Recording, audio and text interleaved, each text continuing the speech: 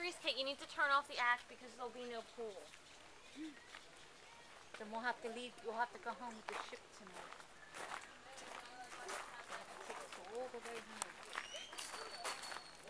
Look at the statues.